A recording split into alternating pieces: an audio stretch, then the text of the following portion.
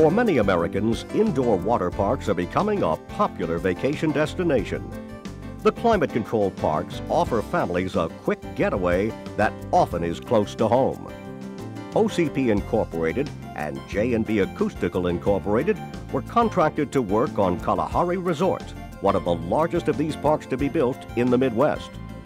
OCP Incorporated had the contract on the 80,000 square foot indoor water park with two adjoining outdoor beach-like pool settings and a six-story condominium complex.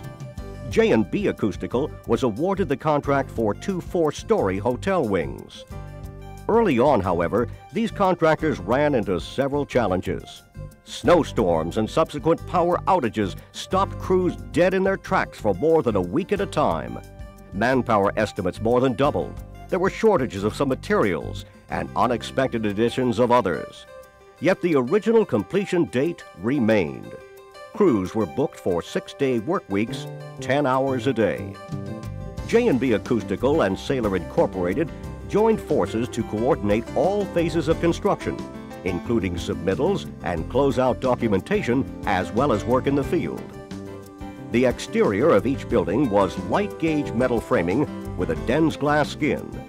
The architectural design team utilized 12 different exterior finish colors and five unique surface textures throughout the four main structures.